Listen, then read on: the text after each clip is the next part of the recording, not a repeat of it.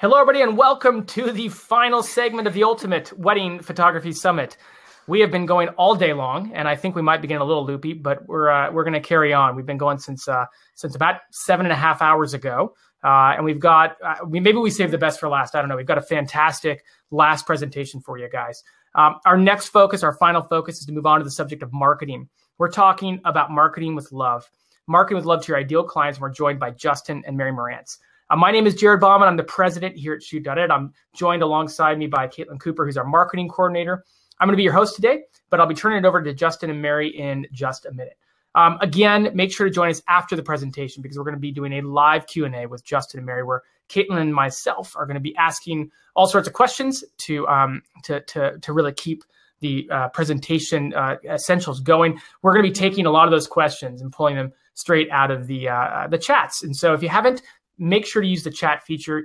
Uh, if you've been here with us all day, man, you're probably tired of hearing us say that, but use that chat feature. It's located on the right hand side of your screen. If you're on mobile, you might need to kind of pull it out. Uh, different mobile devices are different with they this. differently. Yeah, with this chat feature, but that's where you're going to be able to interact with everybody who's here, along with also uh, chatting your questions. And so we're going to be asking a lot of those towards the end um, after the presentation in a live Q and A.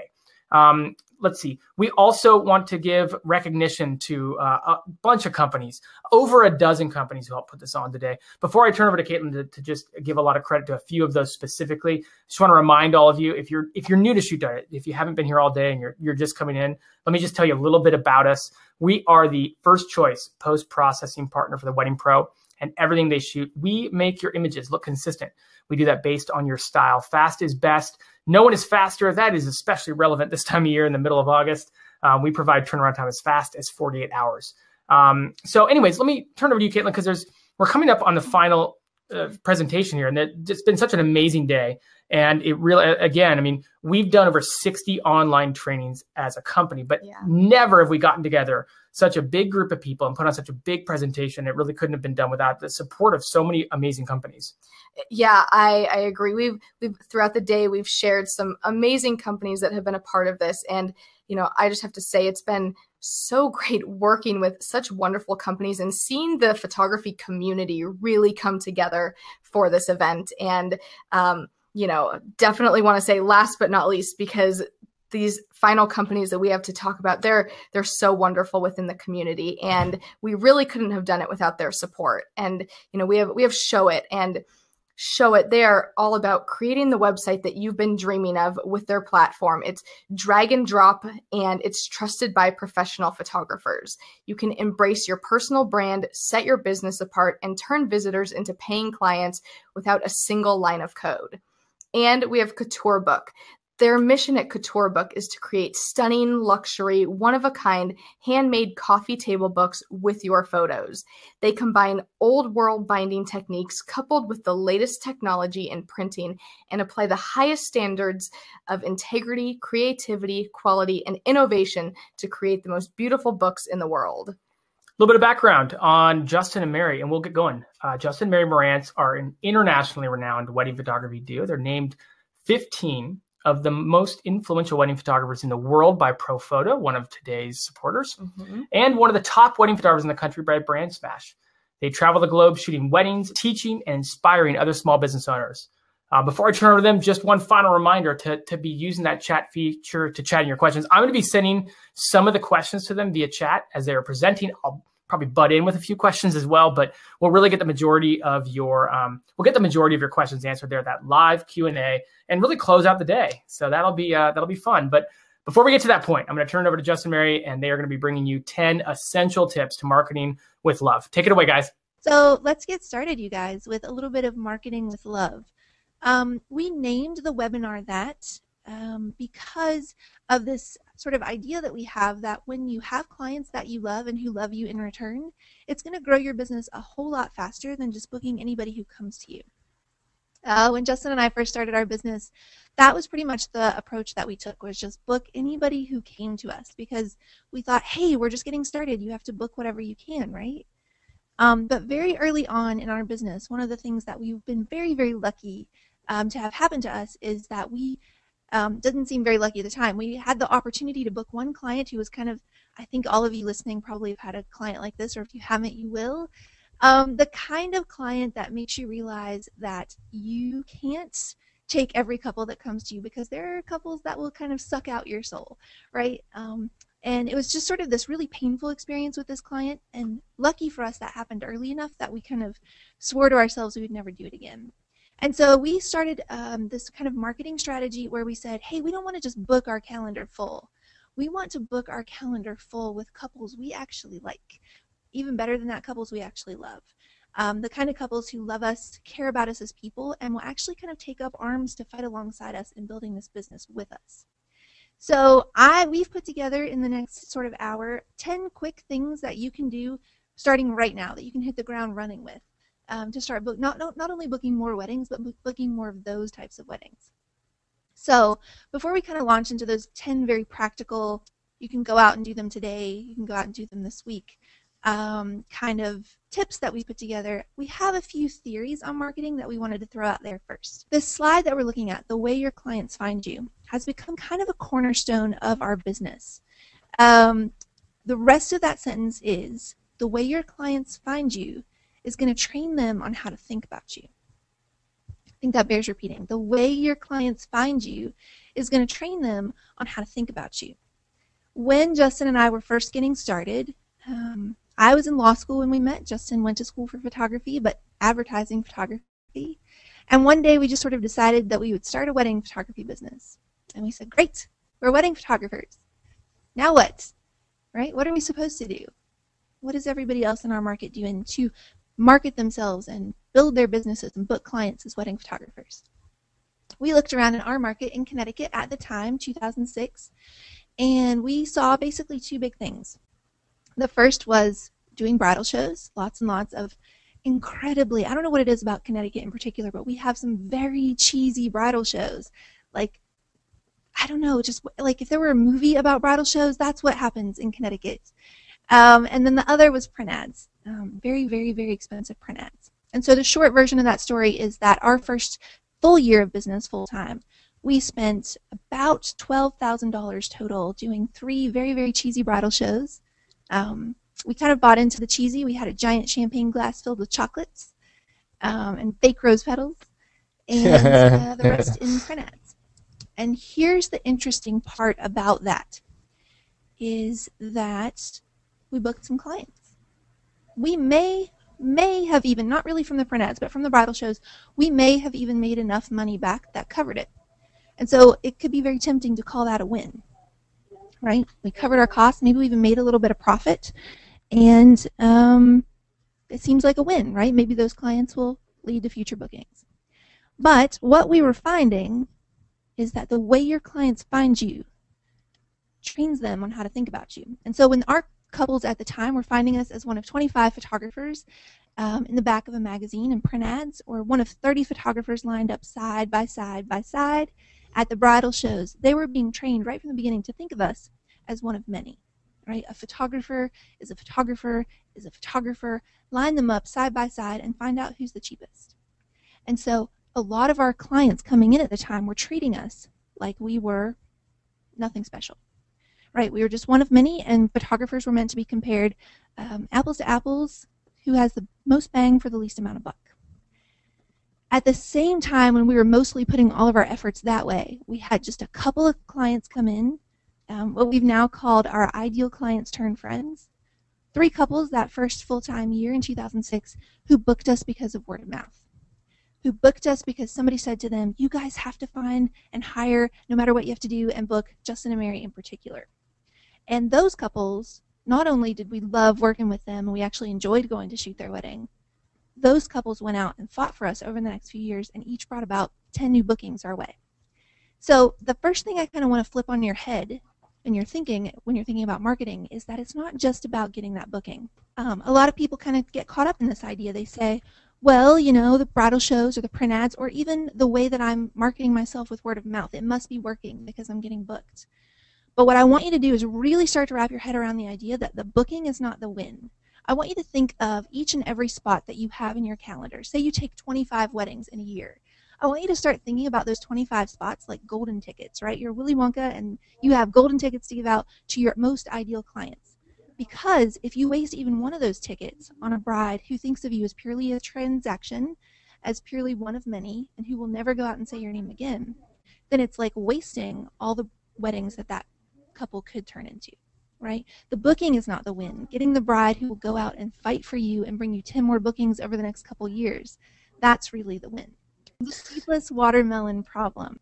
What we mean by that is those brides that we were booking that first full year um, who were paying us good money, but were then kind of these uh, marketing dead ends, right? They would pay us the money, they would hand over the cash, we would hand over the DVD of images, transaction over, they wanted to walk away and never talk to us again. Those clients are what we've come to call seedless watermelons. When you're booking seedless watermelons and you're getting their um, payments, they're really ripe and really juicy, right? Uh, it's really sweet to get that kind of payment in. Um, but what do you have if you spend a whole year um, planting seedless watermelons? The next year, no new watermelons, right? And um, that harvest that you're trying to cultivate each year keeps it never gets any easier. It's always that hard. It's not that they're talking. Um, I feel like word of mouth marketing is one of those sayings um, that people have said so much and we've talked about so much that people have kind of lost the real meaning behind word of mouth. When we're sitting down in a mentoring session with a photographer and I start talking about word of mouth, they almost universally will say to me, Well, of course I have some word of mouth marketing going. I mean, I'm getting booked, right? But going back to our previous slide, the booking is not the win. And um, it could be that even if somebody found you from word of mouth, they are booking you by hearing the wrong things, right? So it's not that they're talking, it's what people are saying about you that really matters. Um, and so, a couple of good things that go along with that. Um, let's imagine that one of your brides is going out and they're saying, Oh, you should totally hire. Um, I see Abby Demond is on, right? You should totally hire Abby Demond Photography, right? She's really, really cheap. Shh, stop talking, right? We don't want that bride being part of our word of mouth. Um, here, another one oh, you know, Erica Pope. You should totally, totally hire Erica Pope Photography. She was so patient when we did my 457 family combinations, right? Those are not things that we want to get hired for. Shh, stop talking. So it's not that they're talking, but what they're saying. And the way your clients find you is going to train you, train them on how to think about you. So between those two ideas, we're going to start launching into a few of these 10 steps. Wrapping our head around that idea, the way your clients find you, trains someone how to think about you. The booking is not the win. We want to book those ideal clients um, that are going to go out and rave about us and book us a lot more uh, weddings down the road. Here um, are a few tips that we've put together to start cultivating a word of mouth machine, kind of this uh, freight train of momentum that we talk about, that are going to actually get people talking about you and saying the kinds of things you want them to be saying. Here's number one Number one is to take good care of the ideal clients that you already have. When a photographer comes in and sits on our couch um, in a workshop or in a mentoring session and they say, Oh, I don't know, my bookings have just totally fallen off. The first question that I always ask is, Well, what have you done for the ideal clients that you've already booked this year, last year, maybe even the year before? What have you done for those guys lately, right? It's like Janet Jackson. What have you done for me lately? And so we um, we'll either recommend in those sessions or we do this ourselves. If we need to get a good influx of people talking about us again and saying the right things, we have a series of gifts that we do. I'm going to walk through a couple of the gifts that we do for our clients during the year that they're getting married. Um, but don't feel like you have to be limited to this. If you're sitting here right now and you're in June of 2014 and 2015 is looking pretty empty, by all means, go backwards and send gifts to your brides for this year, your brides for last year, maybe even your brides for 2012. Um, when you're sending those gifts, a few things you should look for. Number one, Justin and I are big believers that those gifts should not be photo related. And what I mean by that is they can have photos in them, but don't give them a gift card to buy something from your business, right? Don't give them a t shirt with your logo on it. Um, what I want you to do is I want you to send them gifts that are kind of mainstream and the kinds of things that you love and that you just want to share with your clients. So, number one is not necessarily photo related. Number two is I want you to give them something that by its very nature is Instagrammable, right? Um, it's by its very nature is Facebookable, right? It's the kind of thing people want to take a picture of themselves using or doing and share with their friends um, in a social way. And so a couple of examples of things that we do is I'll let you talk about the blanket that we do um, at the holidays. So um, one of our gifts that we do during the holidays, we, we have two different sets that we'll do. Uh, one is for the clients that we've already shot their weddings in the past year, and then the other is for the upcoming clients that have already hired us, but we haven't photographed their wedding. And so the for the previous year, um, we get them a Williams Sonoma uh, bride and groom cookbook, and we ship that off to them. And it's just a nice little something that they can share together, and they can cook recipes and hopefully, um, you know, share with their friends and family. And then the, the other gift that we do for our upcoming clients is a restoration hardware blanket, uh, which we actually have one hanging out right here. Uh, there you go. It's very fluffy. It's very soft. Oh, uh, nice. We enjoy it, and it's one of those things that hopefully, you know, when they get this, they're they're excited about it. They wrap up in it. They cuddle their dog on the couch, and they take some pictures and share that as well. And so, what's great about both of those gifts is those two things that I talked about. Number one, um, they're not photo related, right? They're just stuff that we love. We love for, we got that for a gift for our wedding, the Bride and Groom Cookbook from Williams Sonoma. And we loved that whole first year of making meals together, kind of building traditions of what, as a couple, we were going to make as kind of our regular nightly meals, right? And we learned that from that book. We can help our couples do the same. The other is this incredibly fluffy, fuzzy, amazing restoration hardware blanket. If you guys don't have this, seriously, wait till the holidays, they go on sale and buy one. Um, lucky for us, they actually happen to sell them in our color of teal blue, um, which is fantastic and it's super fluffy and we send it out um, with a card to our couples that says tis the season to be cozy right? And so as soon as we sent those out we've done it for a couple of years we always get this series of um, instagrams or facebook posts of them wrapping up usually with their dogs. We are big dog people so our couples tend to be as well. Um, and they're just you know it's the kind of thing that they can either cook with the cookbook and take a picture of the meal or wrap up in the blanket and take a picture of that um, and it's just very shareable. The third thing about both of those choices is that we kind of get to piggyback on the brand power and the brand value of two companies that we really like and respect Restoration Hardware and Williams Sonoma. And we like our brand being associated with them. Your gift could be something local. Maybe you're really into the local coffee shop or the local um, ice cream shop would be even amazing, more amazing um, or you know we've seen people do um, like bread gift cards like all sorts of dinner at your favorite restaurant. It doesn't have to be anything specific to what we do but just sending these gifts as just kind of a hey i'm so grateful for you. I'm so grateful you hired us and i i'd like to still like hang out with you and be friends even though the wedding's over. And i just want to touch base and see how you're doing. And so just even that little kind of thoughtful gift can really get people thinking about you again. Um, some good you know timing ideas. One of the reasons we pick the holidays is um, it's a super stressful time and we can be kind of a happy moment in the midst of that, sort of like we want to be on the wedding day. And it's also just a great time of year when a lot of their friends are probably getting engaged. So we think about that as well. Cool, let's go to number two. Number two says taking care of your vendors. Um, there are a few things that we can do um, to really kind of take care of our vendors. One of the questions that we get a lot from photographers is, you know, how do you kind of like reach out to a planner or reach out to a florist or a location if you haven't yet shot there without them feeling like you just want to schmooze up to them so they'll send you weddings. And I think the first and foremost answer is to make sure that that's um, as much as possible not your intention, right? It's definitely a part of it, let's be honest. But if you can kind of approach them first as a person um, and not a business, then you're going to get a lot further. So some of the favorite things that we've done for our vendors, um, keeping with that mentality of my favorite uh, definition of networking is, um, you know, what's the greatest good I can do for you without regard for what you can do for me, right? If you never do another thing for me, what's the best thing I can do to help you just because I like helping other businesses? So one of the things that planners are just pretty across the board in need of is it seems like nobody has a really great headshot to put on their website right? Or behind the scenes of them working and setting up a wedding. Nobody has pictures of that. So volunteer. Volunteer to go take headshots of them or tag along with them at a wedding and show them in action. Um, or, you know, just uh, if you see that they're moving studios or something like that, volunteer to go carry boxes. Just volunteer, volunteer, volunteer. Um, the second thing that we like to do, and I'll let Justin tag in, is what we call our vendor cards. And so for the vendor cards, basically we'll take one image from the wedding that we just worked with them at, uh, one of our favorite images of the flowers for the florist or the cake for the baker, and we'll create a five by seven postcard with their featuring their image on the front, their logo on the front, and a, a postcard blank back on on the back side. So they're able to share that with their clients, uh, write notes, little things like that if they want.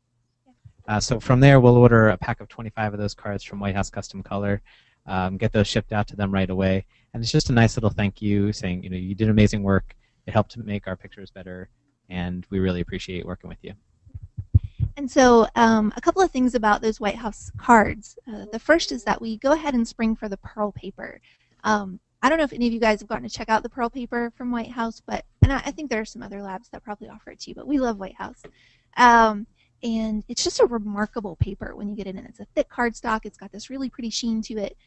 Um, to clarify a few different things Justin talked about, um, White House has a template for those postcards, so you can just download that and fill it in. Um, we go right on their website and sample their color to make that the border. We steal their logo off their website. Nobody has ever complained. Uh, we only need it to be like a little thumbnail kind of size, so that's always plenty big enough. And then we include a picture that we've taken from that wedding working together that just best shows off their work. On the back, we have their name, their website, and their contact information. Here's the key we do not put our information on it, except in very small gray letter at the bottom, it says photo by Justin and Mary. No website, no logo, no contact information. By doing that, a couple things happen. The first is that it is now truly a gift just for gift's sake, so it doesn't feel icky or like there are strings attached, like we have to market ourselves together. The other is that because it's the pearl paper, because it's designed really pretty, it's almost always better than anything they had, and so they actually are happy about giving it out. And the third is that by leaving that logo off, not only are we kind of creating this goodwill by having good intentions, we're actually creating the opportunity for conversations about us, right? So as that vendor is handing out that card with their information on it, um, they've written notes on it, they'll say something like, oh yeah, and if you're looking for a photographer, you should check these guys out. Oh wait, their website's not on there. Hold on, let me pull up their blog and show you a few things. And we've actually had a couple of florists and planners spend more time in their meetings going over our website and our work than their own. Um, and so it works out. It's a huge win all around. Great marketing for them, great marketing for us. The third and final thing that I would say with just um, reaching out to your vendors, creating a good um, relationship with them to get them talking, is consider hosting a few different kind of like networking nights, right? Um, if you're a girl, you could have a girls' night out where you go and get martinis or margaritas or um, try the new, um, what would you call Geronimo's? Tex-Mex? Tex-Mex place uh, where they make guacamole right at the table side, right? Like plan a like girls' night out or, you know, if you're a guy, whatever, plan a guy's night out, or you and a bunch of girls, which is probably how the wedding industry works right now. But plan a few, like make it your goal of once a month or once every other month, where you just host a mixer of, let's say, four or five people. You can change up the people each time. And what's cool is that you're now making yourself kind of the linchpin, the hub that's bringing those people together. So people will automatically see you as a leader and they'll want to associate with you and your business a little more. All right, cool. Number three is leave a sample album if there is one thing that you take from this presentation, seriously, like put three stars and like a unicorn in your notes, whatever you have to do to make sure you remember this one. Leaving a sample album at a location has been an absolute game changer. It kind of seems like an old school thing to do, right? Because, you know, sometimes we'll go to the venues and we'll just see like um, much more established, or let's say they've been in business 20 or 30 years photographers, like the very um, classic black albums. And so um, we kind of learned from that, but we said, let's put our own spin on it. Let's figure out how we can kind of be the purple cow in the midst of all those black albums. And so what we'll do is we'll pick one or two or three locations where we've had the chance to shoot and we would love to shoot again. And we'll just go ahead and make a sample album for them. We do not get permission. Um, we do not pay to be on their list uh, we'll make the book, and when we're making it, we're looking to make it look different, right? So we'll pick a different color leather or different size. You know, look for something kind of funky, like um, is it uh, Madeira who has the really cool, or Finao? Madeira and Finao have those really cool, like um, long, skinny, vertical books. Anyway, just pick something that makes it look very different, right? Like a couture book has the leather journal looking albums, whatever. Just something that in a sea of 10 by 10 black leather albums, it'll be all the same and then, whoa, what's this, right? Because that's going to be the one people pick up. We left a 10 by 10, I'm really kind of ashamed to say this, maroon album, yikes, um, maroon album at our wedding venue about eight years ago now, 2006, eight years ago. And um, that I mean it was eight years ago. So wow, like we've grown. I really hope we've grown so much in our work. And it was a, I'm just gonna say it again. It was a maroon album. Like what were we thinking? Um, but that one book that we left at that location eight years ago, we calculated it up for a talk not too long ago, has brought us in just under $50,000 in bookings ever since, right? If you think about an average booking of um, you know, a little while ago when we were getting started, maybe more like 4,500, and then our bookings have gone up. Um, we're now like we've, I mean, that was a $400 investment for a $50,000 return. Like Wolf of Wall Street would be jealous of that kind of return, right? So um, leave that book, leave it at one or two or three locations. Um, if you can, make it a nice leather bound $400 kind of book. If you don't have that kind of money to drop on even one location, let alone three, um, one of the people we just discovered is Artifact Uprising, and I'll let you talk about them really quick. Yeah, um, we actually haven't used them for a sample album just yet, but uh, we ordered a book from our vacation, just from Instagram photos, and really love the look of it. And it's you know it's remarkably simple, very easy to design, and I think you know if if you're on a budget and you're looking for just a quick way to get a book at at a venue, I would check them out for sure. Yeah. I think the one that we did was Like 40 bucks. yeah, it was like eight by eight, 25 pages for about forty dollars. Don't quote me on that, but something like that. Yeah. Perfect. So yeah, leaving a book at that location not only brought us in about fifty thousand uh, dollars in revenue, like I said, it also turned into I'm going to say eight, seven or eight different ideal clients who then became their own booking streams. Right. So fifty thousand kind of indirect bookings of people who've hired us at that venue, and then from those couples, when you start adding in their friends and their friends' friends, um, it starts to become pretty astronomical what this one small investment did. This one seed that we planted, um, what a huge harvest it reaps over time. So I think it's kind of one of those things that we sort of maybe in the back of our heads know we should do, or maybe you're hearing this for the first time, um, but we don't actually get it done to make it happen. And so something like Artifact Uprising, I was able to design that book in about an hour and a half. So there's no excuse, $40, hour and a half, there's no excuse for not getting that done, right? You can do that this week. Become allies with other photographers. Um, when we're having those workshops or mentoring sessions, one of the items that are always on the to-do list for photographers we're meeting with is to find about three or four other photographers um, that are maybe kind of in the same place. They don't have to necessarily be the same style. They don't even necessarily have to be right in your market, but just kind of in the same place of their business. A couple of years in, three or four years in, more established, whatever it is, just getting started. Find some people who are going through the same kinds of stuff that you are so that not only you can refer each other, um, but you can support each other when you get your first uh, stressful client or your first stressful lighting situation or whatever it is. And so here's how I would approach that. Um, I would first make a list of who you'd like to be your three or four, and um, then I would invite them out to lunch. And um, you're going to see between the, the mixers with the vendors and, and the taking these photographers out to lunch, we're big believers in picking up the tab. I think picking up the tab once can really just go a long way in uh, building a relationship with people. And so I would take those three to four photographers out and then, you know, have lunch, kind of give them an idea of what it is that you want to talk about. And then I would just get them sitting around that table and I would start saying, like, how are the bookings going? How's your season going? Get them talking about kind of the situation, the reality of where they are, and then just get them fired up. Say, you know what? I could do my best to get myself booked. You could do your best to get yourself booked. But all four of us working together to get all four of us booked, I bet could do it in about half or a quarter of the time. And so just get everybody fired up. Say what your kind of you know your mission is. Like, what if we just made it like our goal together to make sure all four of us have our calendars booked out for 2015. And then what I'd love for you to do is start one a Facebook group, a, a, private Facebook group where you guys can just go on and vent and uh, share ideas and set up times to shoot headshots for each other, whatever it is. Um, and two is a shared calendar, like Google Cal is. Uh, Google Cal? Is that what it's called? Google Calendar? I'm shortening things that don't get shortened. Um, and just kind of like this, anybody can access it, go on and see who's available for what date. And then um, when we refer a photographer, even if I had that group of three or four, I would still only try to pick one um, or two tops to refer off that list.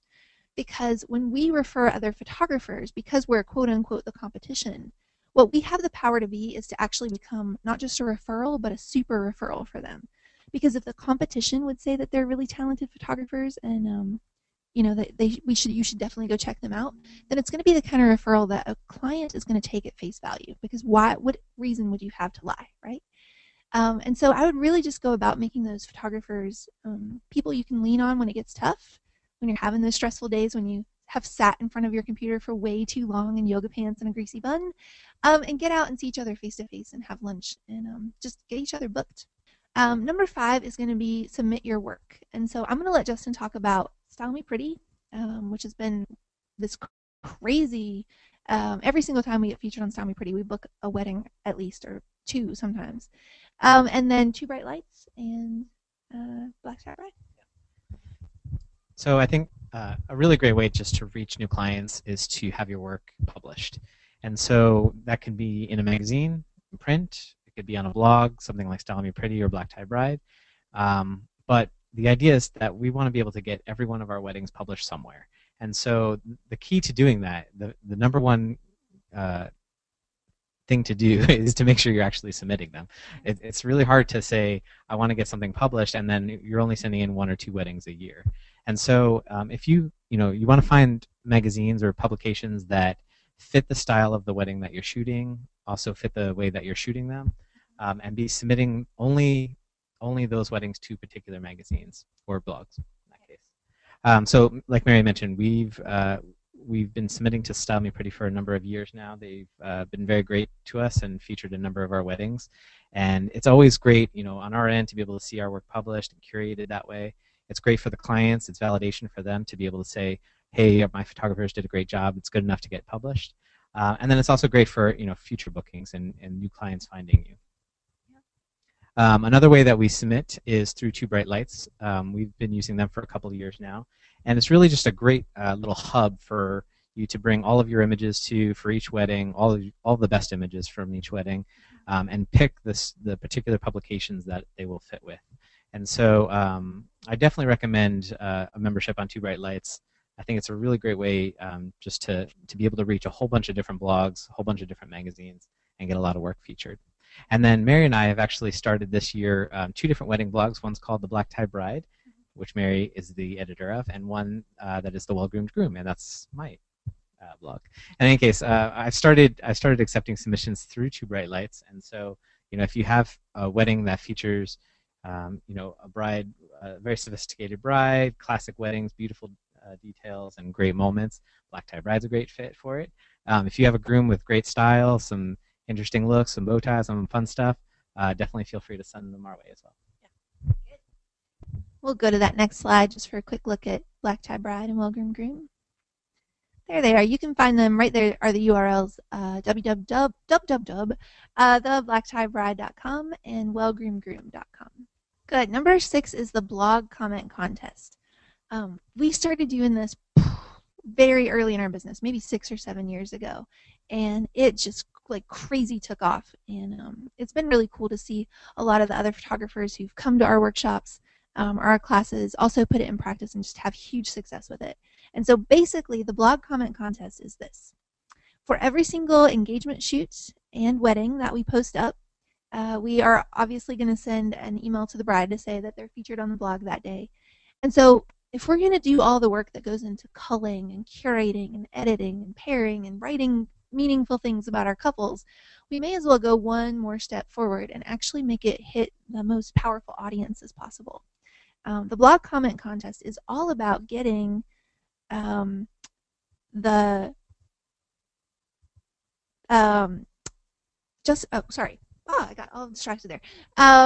The blog comment contest is all about taking these people, the friends and family, the coworkers, the Facebook friends of your couples, and actually making sure that they end up on your landing pad, which is your site, your website. And so here's basically what we do. For every engagement shoot and wedding that we post up, we're going to send out an email to our couples, and we're going to say, um, "Hey, just so you know, you're being featured on the blog today. Yay!" Um, also, just wanted to let you know uh, about a little contest that we run.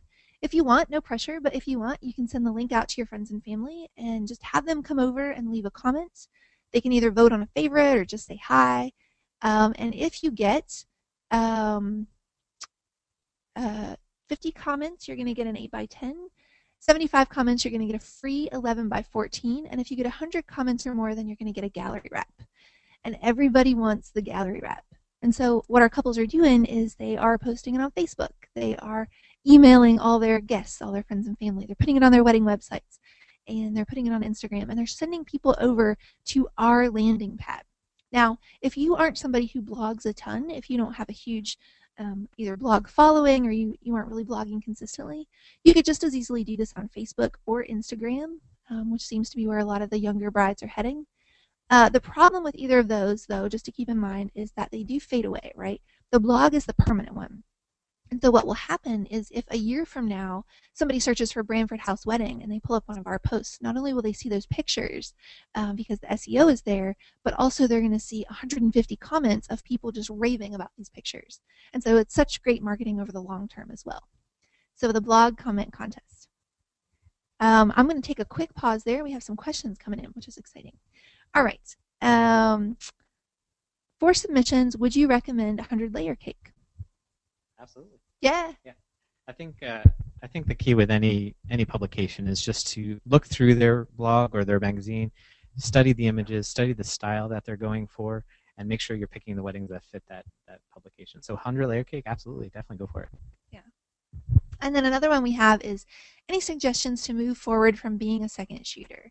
And so we actually have a really good um, experience of that, I guess, because Justin actually got his start. Like I said, he went to RIT for advertising photography and on the side started assisting a wedding photographer named Tim Toll in Rochester, New York. Um, and um, through that second shooting was able to eventually start his business. And so we, to this day, uh, 11, 12 years later, give such huge credit to Tim for the fact that we even have a business period because what Tim did was he took Justin under his wing and he kind of taught him weddings. Um, and then right away, as soon as he was booked for weddings, he would start sending them to Justin. Well, about a year in, I would say. Um, and so Justin not only got invaluable experience before he ever had to shoot a wedding on his own, um, but he also was able to find a mentor who um, wasn't just looking to pick up an associate photographer or have somebody come work for his business. There's nothing wrong with that if that's what the person you're second shooting for is looking for now. But my advice would be to start looking for photographers who just want somebody to come along. They love teaching. Um, you'll come carry bags for a day and they'll teach you a little bit about lighting or workflow or the timing of the day or shooting the families. Um, and that there's this kind of understanding and agreement from the beginning that A, you'll be able to use some of the images on your future website or portfolio. Um, that's not always the case, and so you'll just want to make sure you have that clarified um, first so that there's nothing awkward. And um, second is just that, you know, find people who not only are great photographers that you look up to, but who are also great teachers, because there's a big difference. So find people who are going to, that year you spend with them are going to teach you a lot as well. Yeah, great. Um, we have one more question we'll take for now is what percentage of your price per wedding do you spend on gifts back, uh, gifts, etc., back to those clients? I'll let you take that one. Yeah, so for Mary and I, we've actually set a budget for all of our clients. Um, for us, it's six hundred dollars, um, and basically that covers all the gifts from the initial the initial, you know, uh, first meeting with them, um, the engagement shoot, get, grabbing lunch or grabbing dinner with them, um, the, the, different gifts that we do throughout, and then the holiday gifts as well. Um, and so that's six hundred dollars, and a lot of times we don't even go that far. I would say it's probably like in the four to five hundred dollar range, but that is covered right off the top, and we know that those are going to be that's going to be the money that we're spending to advertise essentially. And so when you take the $10,000 or $12,000 we spend on print ads or bridal shows the first year and you translate that into I, I'm going to fuel my ideal clients with uh, you know ways to talk about me and, and great experiences, um, I, I feel like that's going to go a lot further for you in your business. Now, don't take me the wrong way. $600 is a lot of money, and so we did not start with $600 worth of gifts. We started with one gift you know find one thing that works really well for you that that relates to your business you know give that to them you know it could be $10 it could be $25 it could be $40 whatever it is just allocate a certain budget for it you know fuel your clients with great great stories and uh, the rest you know it'll grow from there and hopefully at, at some point you'll be able to uh, invest more into the gifts. Yeah. Yeah i think that's the super and i'm glad you said that at the end that's the super important part to hit is that you have to just start with wherever you are, right? We did not start with the 10 gifts that we have outlined throughout the year. We started with chocolates that I think were like Hershey's or something. I'm just gonna be honest. Um, and we would put them in a box that we would actually spray paint in our driveway because we couldn't find any resources that would actually make chocolate brown boxes. And so we were like Krylon painting these boxes and shipping them out, and the, the lids would get stuck to the base, and when they ripped it off, it would take off half the paint. So don't do that. Uh, DNLphoto.com uh, does great boxes. We've discovered them, and there are pl- probably a lot of other resources. Um, but the point is, between you know the chocolate um, in the giant champagne glass at our bridal shows and the fake rose petals and the spray painting boxes in the driveway, like never feel bad about where you are.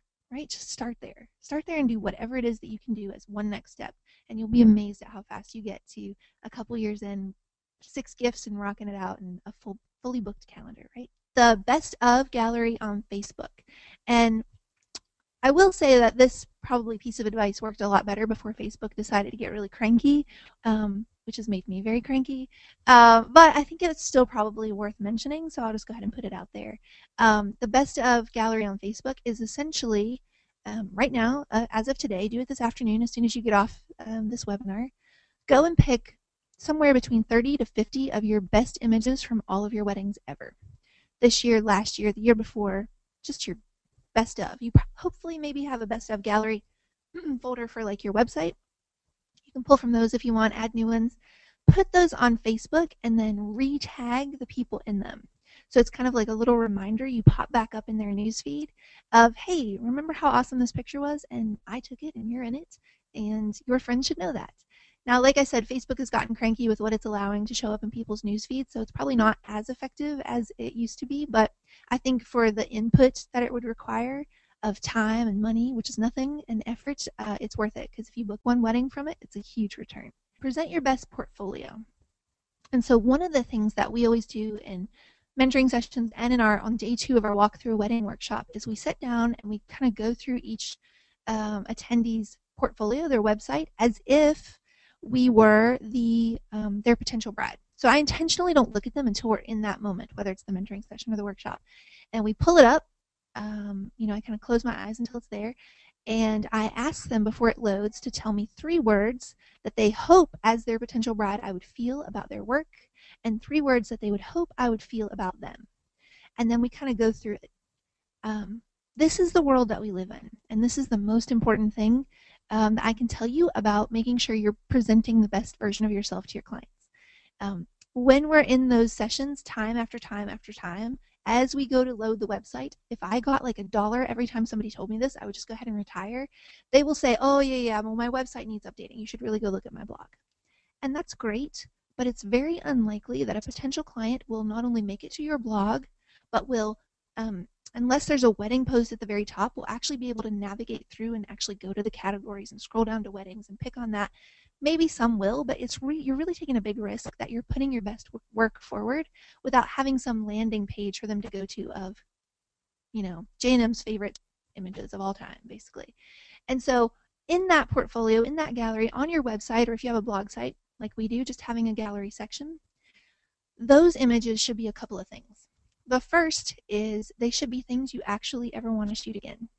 You would be amazed at the number of people who will come in and say, oh, all I get are family requests. I don't understand how to break out of that. I just want to shoot weddings exclusively. And then we load their website, and the Gerber baby is staring back at me, right? The cutest baby ever born, photographed in the cutest way ever photographed, is staring back at me, and they're wondering why they're getting family requests, right? So show what you want to shoot. Um, the bridal party jumping in the air. If you never want to take that shot again, like me, don't post it, right? Um, the guys getting ready in a church basement where it looks like a church basement or a conference room, you can deliver those pictures to them, but consider every single image that you include in your portfolio as a giant billboard um, for what it is that you want to shoot. And there's a market out there for everything, so be very careful. Um, the other things, kind of some of the bigger mistakes that we see in people and what they include in their portfolio, um, do you want to tag in on a few? Oh, I'll do a couple and you'll, you'll, you'll tag in on a couple. Um, besides not showing what you want to shoot, um, we see a lot of people include um, either multiple images from the same wedding in a row if it's a best of gallery and not just that wedding in particular. And that can kind of run the risk of somebody thinking you've only shot a few weddings ever. Or they'll include a few shots that are almost exactly the same image paired together, like one where they're looking at each other and one where they're looking at the camera. What we always tell people is when you pair two images that are that close together, you're essentially saying to the world, neither of these images is remarkable. Here's the proof, right? They're almost exactly the same. Choose the best one and only show that one, and it will make your work um, have so much more impact and value just by narrowing it down and showing less. Showing less is the next one. People always have way too many pictures in those galleries. Your bride, your potential bride, is probably going to make it through about 25 or 30 before she gets bored. So make sure your 25 to 30 absolute best are the ones on the front end. And then um, I'm thinking here, I feel like I had one more and I forgot it. Um, oh, yes, the biggest one, the biggest one is as your bride is going through those images, she is hoping to be able to imagine herself in them. And so if you post images where maybe you loved the couple, but the picture itself is not flattering, or maybe the bride was beautiful, but the angle that you shot her is not particularly flattering, the bride isn't going to know any of those warm, fuzzy emotions you have towards the couple or what was actually happening in the moment if the picture doesn't tell her. All she's going to see is a bride not looking particularly her most flattering self. And she's going to have the fear that you'll do the same thing to her. So post pictures where a bride looking at it would want to put herself in that image. Also, to add to that, I would just make sure that your your processing and your style is very consistent throughout. Um, what you don't want to do is you don't want to have uh, one image processed with crazy textures and overlays and then have the next one be super clean and then the next one be you know contrasty black and white because what's going to happen is a, a, bride may attach herself to one of those images and say oh i really like this contrasty black and white but then she gets to the next one and says oh i really don't like all this this crazy layering and so just having a style that's fairly consistent throughout image to image um, will leave the brides you know with less confusion um, as they're looking through your portfolio yeah and then the last thing that we really recommend for that, um, putting your best portfolio forward, is to take the time. If something's going to make it into your portfolio, I want you to consider it with the same kind of honor you would give it if you were going to hang it on a wall in a true gallery. And so if something's going to be one of your true portfolio images, take five seconds extra to go in and touch out that stop sign in the background, or those power lines, or that distracting element. This is what we call plus oneing an image, right? The image is an A, how do we make it an A plus? um, just by taking out a few things in the background or maybe um, cloning in some sky. I don't really know. I'm making that up. But just making that image really, really polished. Um, psychologically, the way that our brains work is when we look at an image, the less that it confuses us, the more we will be drawn to it and the more that we'll like it. So if we can remove, remove a few of those that was very German. Remove. if we can remove a few of those distracting elements, it's just going to be a much more polished portfolio. And so the that kind of goes back to that idea of what we were talking about with um, showing too much work in general. And so this slide says, uh, I want you to go in and just really like clean house on those galleries. Go in with a machete. Um, if we were sitting on a couch together, just you and me, and drinking coffee, and we were pulling up your gallery, and you were about to say, oh, well, this was from two years ago. My work's gotten a lot better since then. Or you should really go look at my blog. Then why is it still up there as the kind of greeting to potential brides who don't know anything else about you, who are not necessarily going to give you the benefit of the doubt. They're just going to look at your gallery and say, What are you telling me? You're telling me that your work is still two years ago, right? And so just go in with a machete and just do a hack job. If you only show me 25 amazing images, I am going to want to book you more and want to pay more for you than if you show me 100 mediocre ones, right? So go in and clean house. Um, is to just really make sure that your brand is where it should be. You might have the most beautiful work. Um, Justin and I are finding ourselves in this position to be fully honest with you. Our brand, which we loved, love, love, loved, and have loved for about six years, we launched in 2008 and we have now outgrown it. And we're at a place in our business where um, the next thing that's holding us back from going to the next level is our brand. And we're working on it. So we've already started designing it. We're working with Brock and David Infinite to do the blog. Jennifer Olmstead, who's phenomenal, um, is doing the website itself. And we are holding ourselves to these same standards as well, right? We are at a, a ceiling that we have to break through, um, and the next step is updating our brand. So whether that means you don't have a brand at all, or raise your hand if you're guilty, your friend did it, unless your friend is Jennifer Olmstead, then we should talk about it. Um, not necessarily, your friend might be amazing. But if your friend did it and it's not amazing, um, or maybe you had a great brand but you've just outgrown it, then I want you to go ahead and start making the steps to update it. Now, I said 10 things you can do this week to start uh, marketing your business and booking more weddings. And you cannot necessarily launch an entirely new brand in that time. But one thing that you can do is just give it kind of a band aid in the meantime and a really, really stylish, sexy, can we say? Um, beautiful band aid at that. And so uh, there are a lot of options out there. One of those that we're going to talk about just because we love them, um, I don't make any money for telling you this. I always like to make that clear, is uh, Tonic. And we can go to that next slide.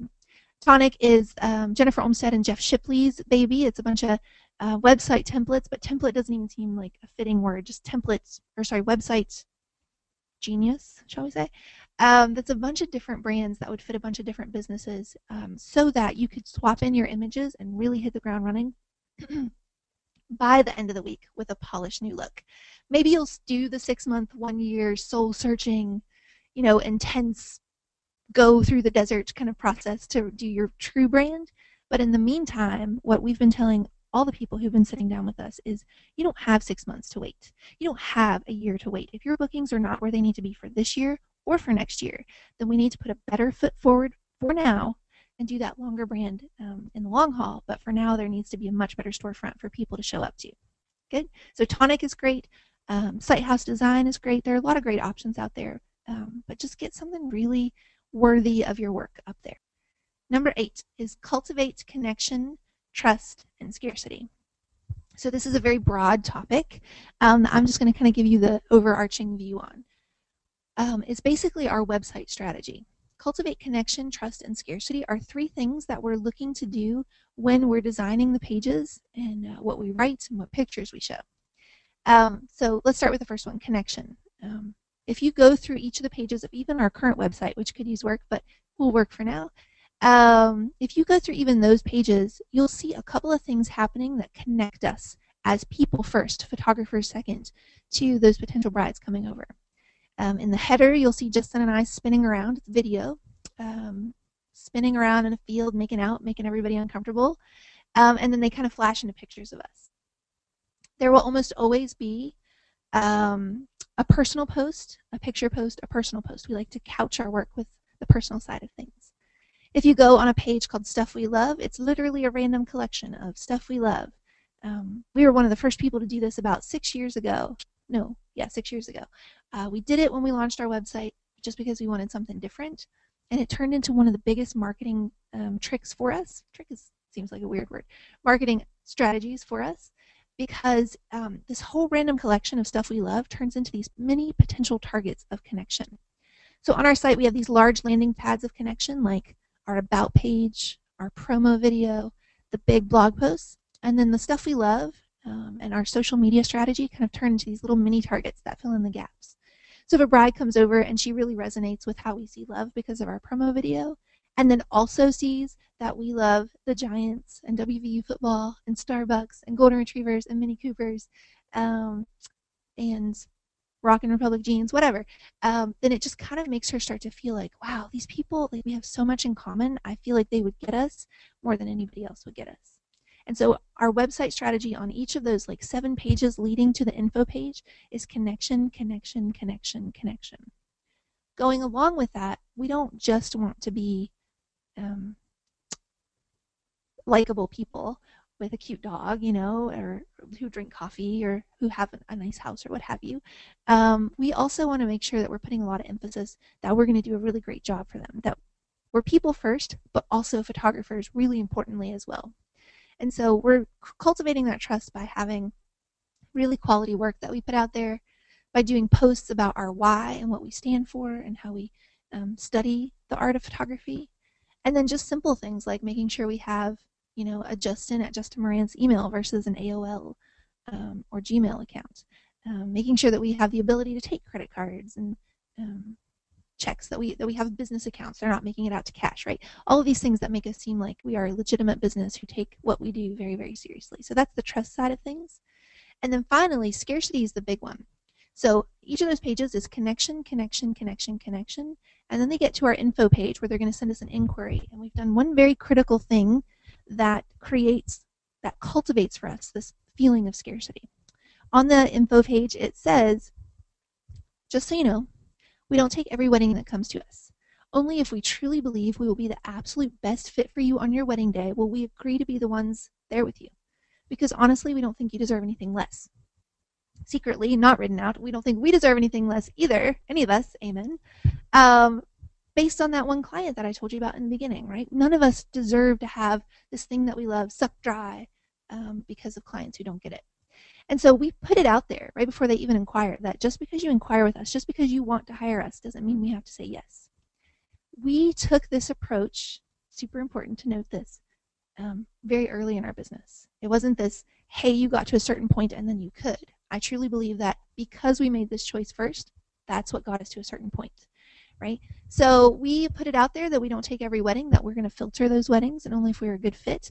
And so now what we've done is connection, connection, connection, scarcity, or put another way, I love you, I love you, I love you. Wait, I might not be able to have you. Now I really want you. And so if you go on our info page when you get a chance, um, you can see the form they have to fill out. They have to say on a scale of 1 to 10 how excited they are to work with us. And then we have an open comment box with no character limit to tell us what they're looking for. And you'll be amazed at what people will tell you about themselves when they have no character limit and they can just talk, right? Tell us what you're looking for. Are you going to be a good ideal client for us or not? Um, first question is uh, Would you recommend advertising with Style Me Pretty if they have already published several of your weddings? Um, that's kind of a tough question for us only because we were in Connecticut, and so one of the very first markets that they started um, introducing themselves to, they're based in Massachusetts, was Connecticut. So we've been involved with Style Me Pretty since right from the beginning 06, 07. Um, and so we've always uh, we got in with the little black book back when it was 250 a year. Um, and it's steadily gone up and we've steadily paid more um, in large part more because we just love those guys and uh, we feel loyal to them. Um, would i pay it right now if they'd already featured some of my work? I think that you know as a good strategy just because style me pretty more than any other blog we've submitted to turns into way more inquiries and bookings. I think that's fair to say I probably would, but I want you to take a look at your business first and see if there are more important areas to invest in, like sending gifts to those clients or updating the brand or updating the um, the website. Do you set a time limit to get the prize for the contest we do on the blog. Um, we've never really officially set the time limit. Uh, it either sort of just falls off naturally and they don't reach it, um, or they get it right away. But I would say um, one thing I would clarify is that we are going to try to make sure that they get the gallery wrap no matter what. We just budget that every single couple is going to get the gallery wrap because we want them to win. We want them to feel good about it, right? That's going to be that positive affirmation that's going to make them talk about it more. So yeah, we definitely um, we're not really too picky about that. We're also not too picky about multiple comments or sometimes um, Obama will comment on our blog. I'm pretty sure that's not really him. Uh, we don't we aren't too picky about any of that. Any kind of engagement makes us happy. Good. Number nine is to meet on your own turf. Justin and I are huge, huge, huge proponents of this. I'm going to kind of intro it and then I'll let you tag in a little bit. Um, when we were first getting started, back in those, what we kind of called those job interview days where we had those seedless watermelons, we were uh, getting in our car, packing up our albums, driving out to all four corners of Connecticut, hour and a half each way. And we were showing up at people's doorsteps um, with our bag. We kind of felt like the vacuum salesman, right? Like we were going to dump dirt on their floor and like demonstrate our amazing vacuum that was going to revolutionize their lives. Um, we would sit at their tables and feel super awkward. We wouldn't even be offered a glass of water. We were by every means on their terms. Then we kind of graduated to meeting at coffee shops, and there would always be crying babies and espresso machines wailing, or it would smell like burnt coffee, or um, be fluorescently lit, what have you. Um, and so one of the things also pretty early in our business that we did, say 2007 ish, you're like, I don't know, one of those years, 2007, uh, was we started meeting in our home.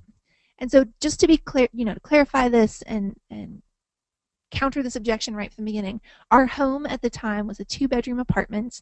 We lived on the second floor. We had neighbors on the first and the third who were always coming home with their groceries right in the middle of a meeting. Um, even though like we live in a pretty nice area at the time across the street we had some drug dealers and next to us we had some drug buyers and they would love to meet right in front of our house to do the exchange. Um, so that was really shady. And um, you know it wasn't ideal. Like you wouldn't look at it and think oh wow you're you're gonna have such a beautiful studio there. But we've always adopted the philosophy of take a look at where you are and see what you can make work with it right? Like start with what you got and build from there and so we went and bought a gallon of chocolate brown paint. We found a desk that's actually still in our house right here, just out of frame, on the side of the road. we bought a Bob's Discount Furniture couch, and the big investment was $1,500 for a TV that probably sells for like 150 now, to be honest with you. And we put together a studio right in our living room. We hung some gallery wraps on the wall, and we started meeting clients right there in our space. And um, what we loved about it was that we could control all of the variables, um, which I'll let you talk about here in a second. But I will just say that sitting there in our two bedroom apartment with neighbors above and neighbors below, and um, you know transactions happening on the street, we've booked some of our biggest, most high end clients, including an NFL quarterback who sat on our Bob's Discount Furniture couch um, and played uh, Mario Kart Wii with Justin. So I'll let you talk a little bit about the the variables. Yeah, and so when you're setting up your studio, um, you know, we kind of adopted the the idea that we want it to be the three-dimensional version of our website. And so, in our new home, uh, not not new anymore, and definitely not new in the sense of it was built in the 1880s, but in our house, uh, we've painted the walls to to match our website. We hang details that match um, the stuff we love. They come in, they're experiencing all these things through the different senses. So they're seeing it, they're seeing it as if it was a part of our website. Um, we're you know doing room sprays that um, that give the effect that it's you know a warm and inviting place to be. We have food out on the table for them, uh, chocolate biscotti and strawberries and all sorts of delicious stuff. Um, we're offering them wine. We're offering them um, champagne or mimosas if it's a morning meeting. Um, we have music playing that fits Mary and I and our brand. So whether it be you know somebody that I love, like singer songwriter Matt Nathan, Matt Nathanson, something like that, or uh, you know some country, good old country music for Mary. You know, just things that connect them to us. So we have control over all those variables. Whereas, you know, when we were meeting at that coffee shop, we had control over none of them. And so um, I feel like it just it builds a much stronger connection, and we can also be a lot more comfortable. You know, we can sit back on our couch, we can kick our feet up if we want, we can go to the fridge and serve them whatever we want. Um, just it's a lot more control. Yeah. And so what Justin started talking about there leads really great into our next slide, which is this that idea of confidence. Um, everything that Justin talked about with what does the room smell look smell like? What is it lit? How is it lit? How is it decorated? What are we serving them? Um, we also have found that when we're in our space and we serve the wine or mimosas or whatever, and we take a sip first, they're much more likely to feel comfortable um, to eat some of the food and take a drink as well. Um, so all of that just kind of like creating the kind of creative, beautiful space that we want associated with our brand is huge. But even bigger than that is the confidence factor. Uh, when we were going and meeting in their space, it was completely their turf. They had all the upper hand, right? And they, um, I think, could feel free to negotiate as much as they wanted. When we were meeting on neutral ground, but still a place we couldn't control, we still felt like we had to take responsibility if the baby was crying or the espresso machine was loud or smelled like burnt coffee. And so, meeting on our own space, when they walk in, I, we are in complete control. Like Justin said, we can kick back in the chair, we can have a posture that seems very confident, very relaxed, very, hey, you're just coming to hang out, we're just going to get to know each other, and we're going to see if this is a good fit. And so that brings me to this slide on desperation, ideal clients, and the reverse sell. Um, I'm a big believer that um, business is a lot like dating.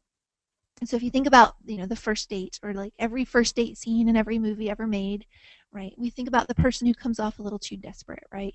Like um, the girl who starts talking about getting married right away, or the guy who's like, "Oh, I can't believe you're out with such a loser like me," or whatever. Um, when that desperation comes across in dating, the first thing we want to do is shut down.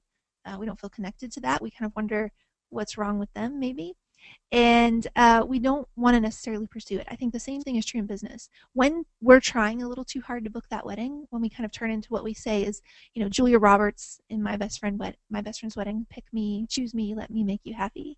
Um, it's it's very much a turnoff for clients, and so coming into your own space allows you to kind of bring across that confidence to do what we call the reverse sell. So there's hard sell, there's soft sell, which is I'm still going to sell to you, but it's going to be a little more like um, nuanced and not quite so obvious. And then there's the reverse sell. Um, the reverse sell is from uh, actually from The Office. Michael Scott. Any Office fans out there? Um, and uh, they're kind of like watching this guy, the salesman who's taking all their jobs. They're kind of like doing the surveillance on him. And Meredith comes in as the pretend client and she's trying to buy from him. And the guy says, Hold on, let's just get to know each other. And Michael goes, Oh, he's doing the reverse sell that's kind of a practice that we've put into place in our business, which is we flipped this idea. If 95 or 97 or 99% of photographers are over here fighting with each other and competing over booking that one client, what if we took that mentality, this big pick me, choose me, let me make you happy mentality, and flipped it on, on its head? If we only want to take 20 or 25 weddings, if we only have 20 or 25 golden tickets, what if we kind of sat back and where we used to be in the interviewee chair, you know, the hot seat answering the tough questions, what if we asked them some questions like, hey, what are you guys looking for in your photography? Or what are you guys looking forward to most for the day? What do you like to do for fun with each other? How did you guys, you know, get engaged? Tell us that story. And we kind of like played it in that very confident, cool place. Um, then it goes back to that scarcity thing we were talking about before, where we're not fighting for it so hard and they're actually drawn in. Um, again, I want to really drive home that idea that we were doing the reverse sell before we had bookings pouring in. And I truly believe because we were able to kind of pull that inner confidence out, which is so tough to do when you just need to get the bookings. I get it. I totally get it. But just really like pulling out that confidence and that um, faith in ourselves, it pulls the clients to you in a way that um, trying too hard never will. And when we think about it that way, I think it makes a lot of sense. Good. Finally, our last tip of the 10 is to just give um, a la carte pricing a try. There are definitely a ton of pricing theories and models out there, the two biggest ones being a la carte and packages. Um, when we first started with our businesses, we with our business we had packages for sure. Um, and in about 2008, we did a mentoring session with Jim Kennedy out in California, who does uh, 300 weddings a year, 90 himself, the rest in um, associate photographers.